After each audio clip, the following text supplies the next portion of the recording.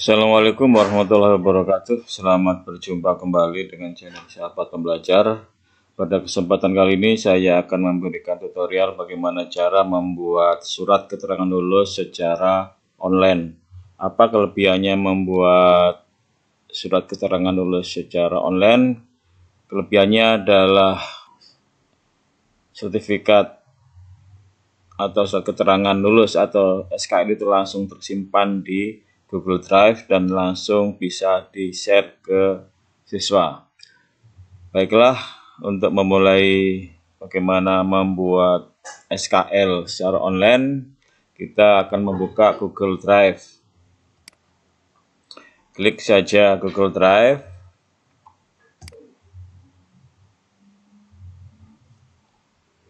Nah, berikutnya kita membuat folder baru.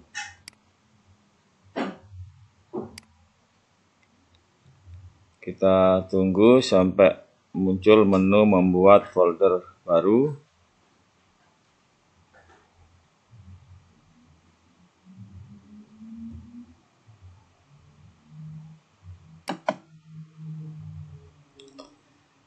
Oke, misalkan ini SKL.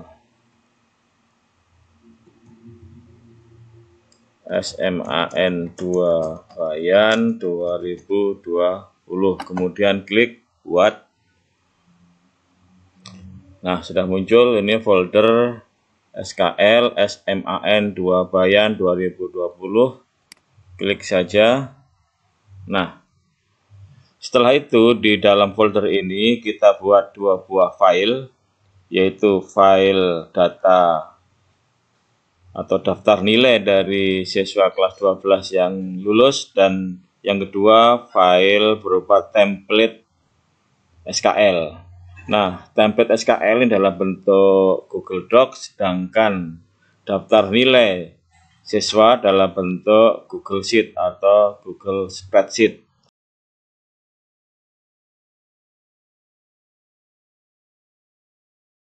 Perlu diketahui bahwa Google Doc itu adalah aplikasi pengolah kata yang dikembangkan oleh Google. Ini sama fungsinya dengan Microsoft Word yang sama-sama juga pengolah kata. Kemudian Google Sheet itu adalah aplikasi pengolah angka yang fungsinya sama dengan Microsoft Excel yang juga pengolah angka. Keduanya itu bisa di konversi artinya dari Google Sheet bisa dibawa ke Excel atau sebaliknya, Google Doc bisa kita bawa ke Word atau sebaliknya. Nah, untuk itu kita tidak harus membuat Google Doc dan Google Sheet secara online karena kita sudah punya template dan daftar nilai. Cukup daftar nilai dan template SKL ini yang kita unggah. Oke, di sini saya sudah menyiapkan folder SKL 2020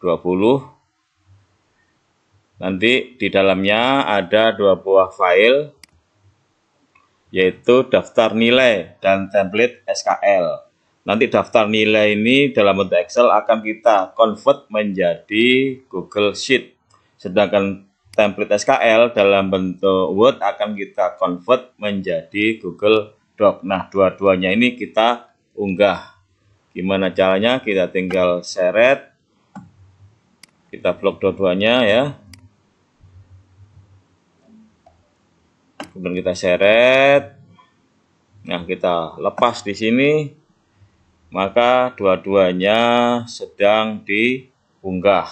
Oke, mengunggah sudah selesai, maka muncul di sini. Ini adalah Excel, yang ini adalah uh, template SKL berbentuk Word. Nah, yang XL ini kita convert ke bentuk Google Sheet, yang Word akan kita convert ke dalam bentuk Google Doc. Gimana caranya? Kita buka dulu.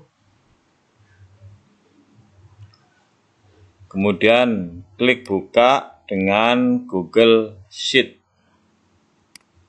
Nah, loncat ke jendela baru menjadi Google Sheet.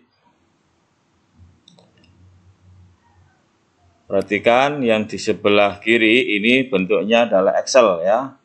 Perhatikan daftar nilai 2020.xl XLSX. Nah, kalau ini kita buka dalam bentuk Google Sheet. Nah, sebelum ini berubah menjadi Google Sheet, supaya berubah maka ini kita simpan dalam bentuk Google Sheet. Simpan dalam bentuk Google Spreadsheet ya. Oke.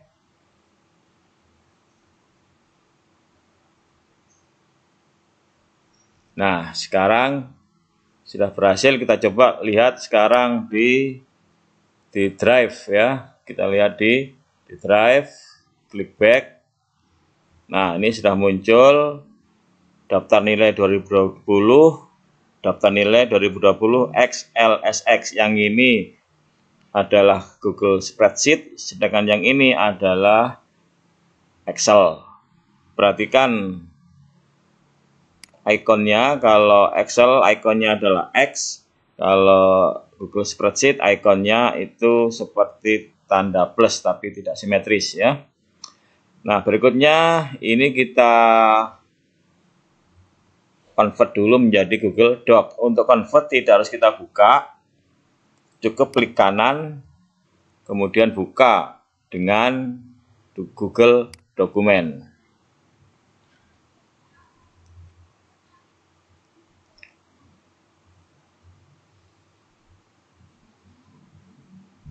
Nah, ini adalah tampilan Google Dokumen atau Google Doc, yaitu pengolah kata yang dikembangkan oleh Google, sedangkan Word itu sama fungsinya tapi dikembangkan oleh Excel. Nah, seperti ini. Kemudian ini kita simpan dalam bentuk Google Dokumen. Simpan sebagai Google Dokumen.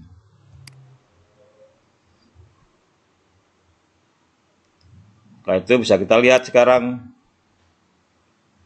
Belum. Nah, sudah muncul ya. Perhatikan. Ini Google Dokumen, ikonnya itu seperti kertas bergaris-garis, tetapi kalau kalau yang Word itu ikon berlambangkan huruf W, fungsinya sama ya, tetapi pengembangnya beda. Nah, kita karena kita bekerja di Google maka yang kita pakai adalah uh, format yang dipunya oleh Google yaitu spreadsheet sama doc. Oke, sekarang kita lihat spreadsheetnya ya. Kita lihat spreadsheetnya sekarang. Ini kita close saja. Ini juga ini kita close saja. Nah, sekarang muncul dua buah file ya. File pertama Google Doc, ini merupakan template dari SKL. Berikutnya adalah daftar nilai. Nah, sekarang perhatikan di sini ya, yang namanya surat keterangan lulus itu paling tidak memuat dua hal. Yang pertama adalah identitas, yaitu mulai dari nama, tempat tanggal lahir, sampai dengan nomor induk siswa nasional. Kemudian juga dilengkapi dengan daftar nilai. Daftar nilai ini sudah saya sesuaikan dengan Juknis penulisan jasa tahun 2020 ya. Tidak ada lagi nilai rapor. Yang ada adalah nilai ujian sekolah. Nah sekarang perhatikan.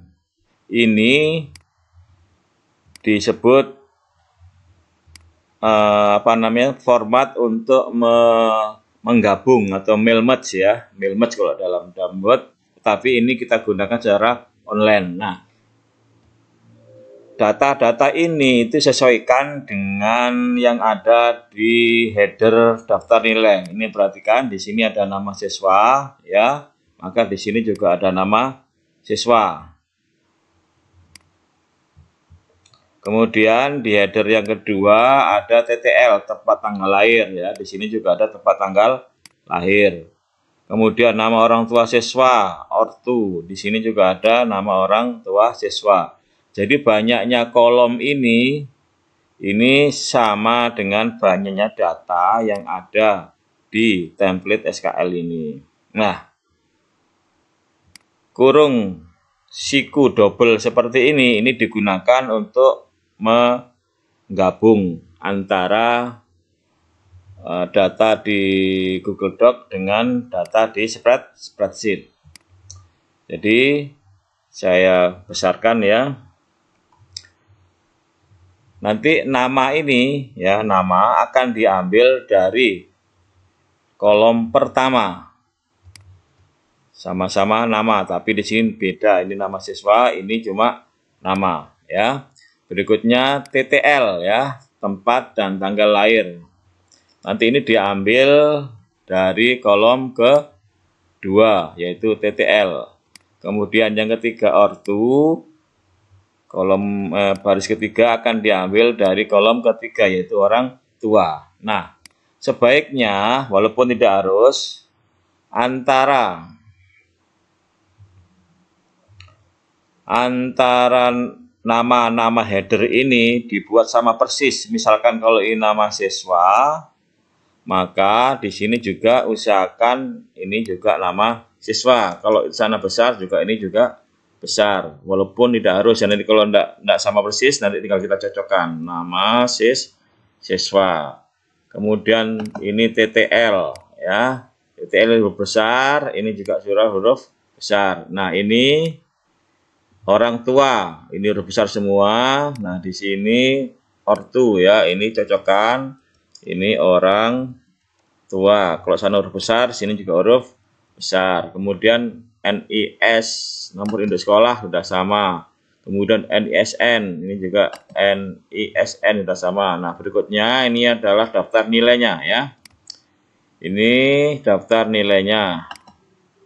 Oke, kita kita kita pasang mana yang sama, mana yang tidak. Ini kita buat sama semua ya. Sak hurufnya, sak huruf besarnya, sak ejaknya sama persis. Perhatikan PPKN ya, PPKN. Ini PPKN, N-nya kecil. Sedangkan di spreadsheet ini N-nya adalah besar. Oke, bagaimana yang terjadi nanti seandainya satunya PPKN N-nya kecil, satunya PPKN N-nya besar. Nanti kita tahu apa yang terjadi. Oke, selanjutnya setelah template dalam bentuk Google Doc dan daftar nilai dalam bentuk Sheet sudah siap, maka kita selanjutnya klik pengaya. Klik pengaya, kita ambil pengaya yang namanya AutoCred. Kemudian kita launch. Nah, bagaimana kalau belum ada AutoCred? Maka kita cari, tinggal kita klik dapatkan add-on. Anggap kalau Anda belum mempunyai AutoCred di Excel di Google Spreadsheet-nya. Klik saja dapatkan add-on. Kita tunggu beberapa saat sampai muncul daftar add-on. Nah, ya cat apa namanya? ketik saja auto cred. Nah, enter ya. Nah, maka akan muncul di sini auto cred warnanya kuning. Nanti tinggal diinstal. Kalau belum diinstal, ini kebetulan sudah install, maka tidak perlu kita install. Jadi seperti ini kalau nanti spreadsheet Anda belum mempunyai pengaya atau add-on auto create. Ya ini disebut auto create. Oke karena sudah diinstal maka tinggal saya close. Berikutnya saya klik pengaya saya klik auto create saya klik launch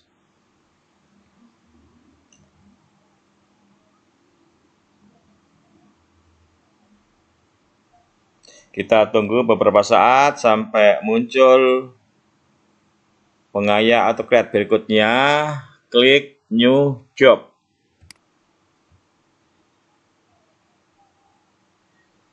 Misalkan, misalkan SKL du, eh, Seman 2 Bayan 2020. Kemudian klik next. Nah, kemudian ambil template sekarang ya, ambil template dari SKL. Ambil dari drive, klik from drive.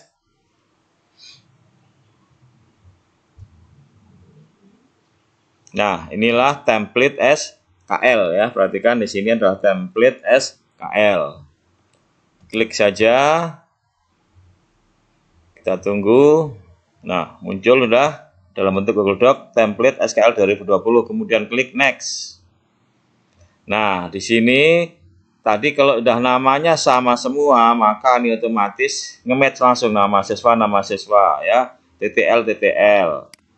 Nama orang tua nama orang tua. Terus nah, ini PAPB berarti tidak sama ini.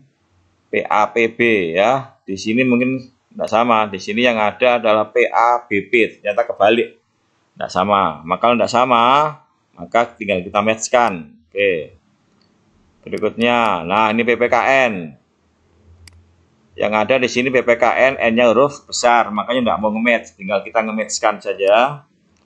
Berikutnya kita scroll ke bawah, BI. Nah, mungkin tidak nge-match ya. Ini yang ada adalah bahasa Indonesia, BIN. Nah, yang tidak nge-match kita nge-matchkan nah ini mat yang tidak ada di sini yang ada adalah MTK ya yang ada di sini adalah MTK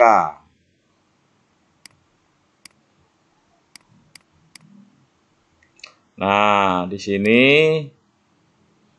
yang ada mat M. Nah terus oke yang tidak sama kita samakan. Nah JML di sini yang ada adalah rata-rata tadi RR ya. Jadi jumlah JML di sini yang image adalah rata-rata. Untuk selanjutnya sebaiknya samakan antara header di spreadsheet dan eh, di data di template biar langsung match ya. Setelah itu klik next. Nah, sekarang ubah menjadi PDF. Artinya nanti SKL itu akan otomatis berubah menjadi PDF. Di sini katakanlah judulnya SKL 2020 ya. Di sini ketik nama siswa ya. Sesuaikan dengan ini ya. Kalau ini nama ini N nama besar ini harus juga nama siswa juga harus huruf besar. Kemudian pilih multiple output. Jangan yang single. Kalau single nanti jadi satu semua gandeng jadi satu tapi kalau multiple output mode nanti akan terpisah-pisah oke berikutnya klik next nah ini nanti semua semua sertifikat akan disimpan di folder SKL Seman 2 Bayan 2020 ya. Ini bisa kita ganti kalau memang kita kepingin folder yang lain. Jelas tidak usah kita ganti. Kemudian klik next. Kemudian klik next lagi next lagi. Nah ini ada dua, dua pilihan di share atau no. Karena ini kita tidak kita share maka klik saja no ya kita share artinya nanti kita share ke ke email ya. Tapi kalau no maka tidak kita share ke ke email. Nanti bisa kita share lewat WA atau lewat yang lain. Oke berikutnya klik next. Nah klik yes saja. Oke klik yes. Updating project triggers. Kita tunggu. Nah, setelah itu kita klik save.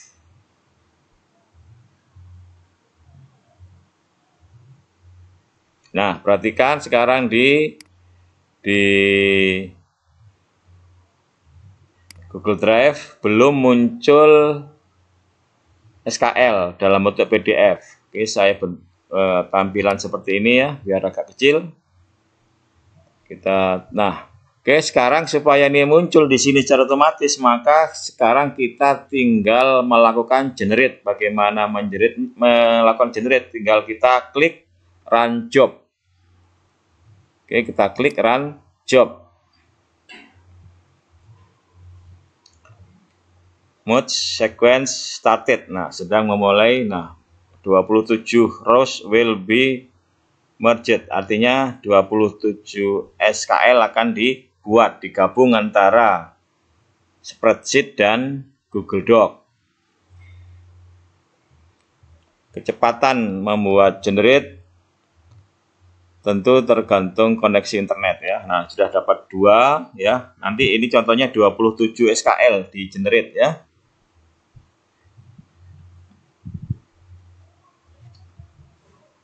Tiga,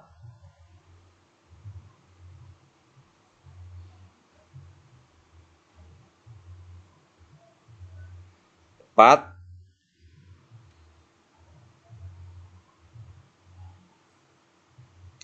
tunggu sampai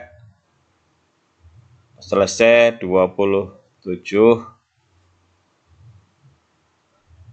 spreadsheet eh 27 SKL.